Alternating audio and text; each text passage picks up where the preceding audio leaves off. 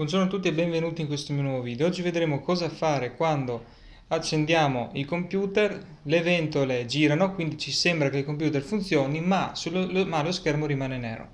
Come ho detto l'altra volta, questo sarà il secondo video di questa sorta di miniserie che ho deciso da fare composta da tre video. Ho spiegato la volta scorsa da, i, i video eh, dei quali sarà composta questa miniserie.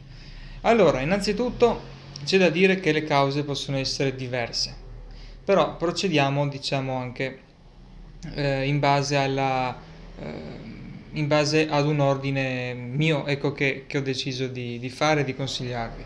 Allora, la prima cosa che vi consiglio di fare è di verificare eh, esteriormente, quindi in un certo modo, che il cavo VGA della vostra scheda sul quale è collegato diciamo, il cavo alla vostra scheda video, che sia quindi VGA, HDMI, DV, non c'entra. Verificate comunque che il cavo che porta l'immagine dalla scheda video al monitor funzioni, sia funzionante. Per farlo semplicemente eh, potete provare se ne avete la possibilità eh, di cambiare il cavo, quindi di provare un cavo che è funzionante. Il eh, secondo consiglio che vi posso dare riguarda invece il monitor, eh, quindi lo schermo.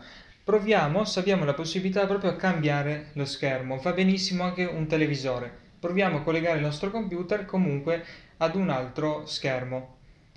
E riguardante lo schermo, a proposito dello schermo, vi posso dire questo. Eh, verificate che come di, la, mm, mi sfugge adesso il termine, la sorgente con la quale viene, diciamo, la modalità con la quale viene impostata lo schermo sia quella corretta. Quindi, se voi avete segnale analogico, che lo schermo sia impostato per segnale analogico, se è digitale, digitale. Quindi verifichiamo bene anche questo, quindi anche la, le impostazioni, lo, il, il settaggio dello schermo.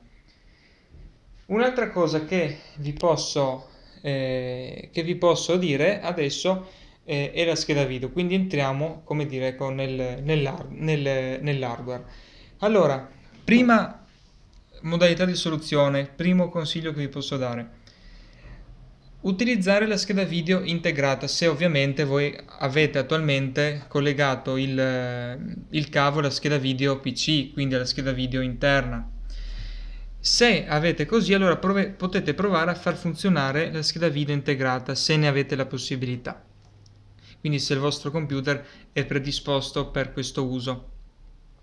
In questo caso vi posso dire questo. Allora, per far funzionare la scheda video integrata, eh, sinceramente non, non so, eh, non so, non, so benissimo come fare, ma adesso vi spiego bene. Allora, non ricordo se è sufficiente che voi scolleghiate il cavo dalla scheda video PC e lo collegate per appunto avviare la scheda video integrata o seppure dovete proprio togliere eh, la scheda video PC e poi attaccare il cavo successivamente al, alla scheda video integrata. O se ancora eh, magari qualche scheda madre mette a disposizione nel BIOS un settaggio per attivare o disattivare la scheda video integrata. Quindi verificate queste, questi settaggi e regolatevi di seguito.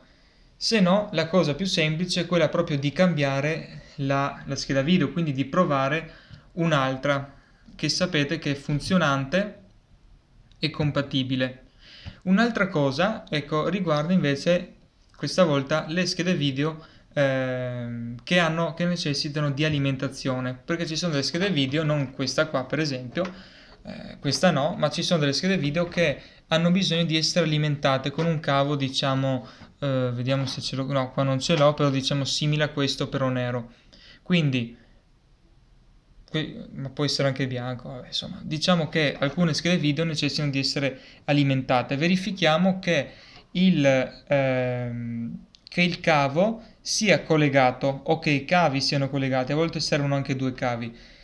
Eh, verifichiamo e inoltre eh, anche proviamo se abbiamo la possibilità un altro cavo colleghiamo quindi un altro cavo dell'alimentatore un'altra cosa che posso, vi posso dire è quella che quando togliete la scheda video proviate a pulire proviate a pulire lo slot eh, nella quale è alloggiata la scheda video quindi quest'ultima provate a pulirlo provate a pulire anche comunque i, eh, la dentatura dorata della scheda video e provate a vedere se così magari ritorna a funzionare. Adesso vediamo che altri consigli posso dare.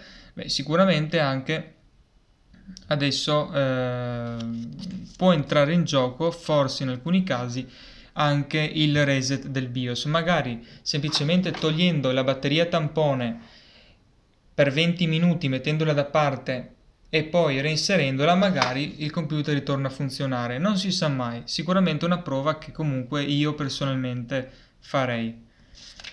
Successivamente vi posso dire anche che eh, ora diciamo ci possono essere anche altri componenti che chiaramente eh, non permettono al computer di visualizzare niente allo schermo. Quindi può esserci un problema diverso dalla scheda video. A me molte volte mi è successo. Velocemente allora diciamo un problema eh, comune che può eh, succedere è che qualche componente eh, abbia smesso di funzionare. Quindi la scheda madre eh, non può avviarsi e quindi lo schermo rimarrà nero. Uno dei componenti che può avere problemi e che può dare problemi in questo senso sono le RAM, appunto queste, queste due, no? alcuni computer ce ne hanno una, due, tre, quattro. Quindi in questi casi io vi consiglio, se ne avete più di una, di toglierle tutte e di lasciare solo una. Se così neanche non va, provate con, eh, con la RAM che avete messo da parte togliendo quella che invece è, insomma fate, utilizzate sempre il computer con un'unica RAM e sempre una diversa, vedete che magari qualche RAM non abbia qualche problema. Eh, o provate direttamente con RAM nuove. Diciamo che eh, se le RAM hanno problemi può succedere che il computer non si proprio non, non, non parta nemmeno. Un altro, poi inoltre pulite anche gli slot delle RAM che può essere molto utile, anche la relativa eh, doratura delle, della dentatura delle RAM. Un altro componente, sinceramente questo non lo so, però potrebbe essere, diciamo, io proverei anche questo come, diciamo, eh, come prova, ecco, diciamo, allora l'alimentatore. Quindi io proverei a verificare innanzitutto che i cavi siano ben collegati, quindi che non ci siano cavi magari che sono solo mezzo collegati, che magari danno problemi, eh, quindi proviamo a vedere che i cavi siano ben collegati. Se no vi dico, io procederei anche proprio a, a provare a sostituire l'alimentatore se ne uno da parte, proverei con un nuovo alimentatore. Un altro componente, e ora entriamo negli ultimi due componenti, eh, che possono diciamo essere colpevoli da questo punto di vista sono la CPU e la, eh, e la scheda madre. In questi due casi potrebbe essere in particolare per la CPU, ma in realtà questo può succedere anche per altri componenti, però diciamo a me è successo per la CPU, può essere che le ventole non solo diciamo quando voi accendete il computer si accendono normalmente, no? Ma può essere che girino oltre il limite, quindi che girano fortissimo. Allora, la CPU, chiaramente se il problema sta nella CPU, voi dovete procedere con, il, eh, con, il, con la sostituzione della CPU. Però prima c'è anche un'altra, eh, un'altra possibilità. Può essere semplicemente che il cavo che appunto va ad alimentare la CPU, non vorrei dire scemenza, mi sembra che questo cavo proprio alimentare la CPU, quindi se eh, magari questo cavo ha qualche problema o ha smesso di funzionare, eh, potete provarne un altro se ne avete e verificare così. Se invece è la CPU, quindi il processore, in questo caso vi consiglio di sostituire il processore, non c'è altro, altro modo che io, che io sappia e poi la, la scheda madre. Eh, vabbè, se la scheda madre chiaramente eh, dovete verificare un po' quale possa essere il problema, verificate che non ci siano condensatori bruciati, eh, verificate appunto che sia tutto integro, però chiaramente se il problema sta nella scheda madre, eh, chiaramente la, la, soluzione più veloce è quella di procedere con la sostituzione di quest'ultima non, non, penso io.